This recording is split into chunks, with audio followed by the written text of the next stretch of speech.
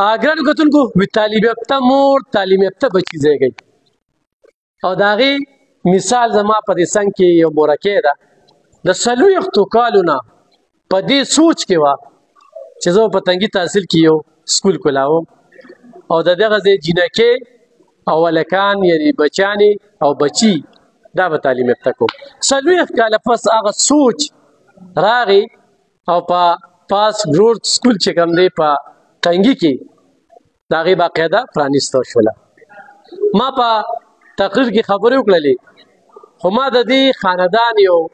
خورکه په یو سکول کې انټرویو کړې و او دا غي خبره او سوچ موریدل ما ته د مورکه پته نه وجه د مور سوچ دی نو ما په خپل تقریر کې چې د دې خاندان زنانه چې کوم دي زموږ خويان دي هغه اعلی تعلیم یافته نارینه خو پرېږده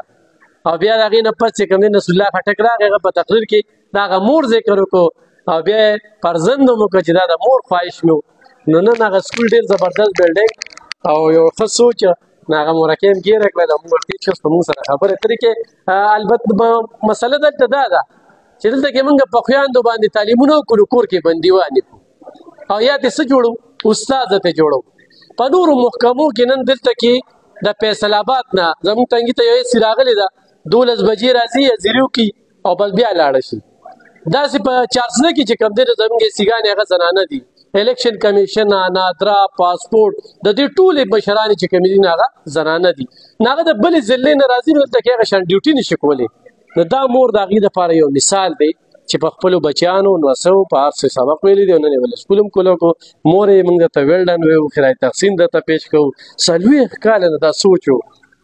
السلام علیکم بسم الله الرحمن الرحیم دا زما سوچ او دا زما دغه دونه خبره نه زوی زه تعلیم یافته نه ما ما تعلیم نه کړي خو زما په ذهن کې د تعلیم یو ډیر لوی قدر ځکه چې ما په خپل تعلیم نو کړي او زه ډیر زیاته تعلیم یافته خو زه او سړو ته خپه کېدم کله چې زما د نور الله جان زوی ما له الله راکړو او دې د څلورو پنځو کالو شو او دې زما نه پېښور ته لاړ نو زه ډېره زیاته به خپه وم ځکه چې له مور نه یو ماشوم بچي جدا شي او هاسټل کې داخل شي نو هغه مور ډېره زیاته خپه وي نو ما به دا سوچ کوم ما به یا الله دا نور الله جان دومره کامیاب کړي او د له دونه تعلیم او تربیت په خدای وکړي کې چې زما په دار ما نور چې زه دې یو ښه تعلیم یافته انسان جوړ شي او دې زما دا خواهش پوره کړي چې دې یو ښه سکول جوړ شي چې دلته هر ماشومه او هر ماشوم تعلیم یافته شي ځکه چې هغه اوس شکر دې ډیر دی پتنګي کې استاد هغه سکولونه خو په هغه وخت کې پتنګي کې سکولونه نو دا پرایمري سکول او دا های سکول دا او سرکاري سکولونه دا نور سکولونه نو نو زه به ډېره زیاته خپه وم نو شکر الحمدلله خې زه الله نه ډېر شکر ادا کوم چې زما نور الله جان نعیم الله جان الله پاک په دې مقام ته راورسول او تعلیمونه یې وکړل او زما دا خواهش یې پوره کړ دا پلار خې اوس بوډا دی دی ده به هم ډېر زیات دا فخر کو چې زه په دې خپلو بچو باندې دا زما دا دغه وکړي خو غریب هغه اوس نشي کولی نو زموږ دا خواهش الله پوره کړ شکر الحمدلله خې چې دا ایف جي سکول فات ګرو سکول ایف جي الله پاک دې خو باندې ودرو او دا دا علمي اداره زما دی نورالله جان او نعیم الله جان جوړه کړه او زه په ډیره زیاته خوشاله یم د الله نه ډیر شکر ادا کوم او دې ټولو پتنګي ته خواست دی چې تاسو راشئ او پاکې جوی سکول نه فایده واخلئ او تاسو پکې خپل بچي داخل کړئ باروسه تاسو په دې فاک پاک پاک برو سکول اف جی اس باندې وکړئ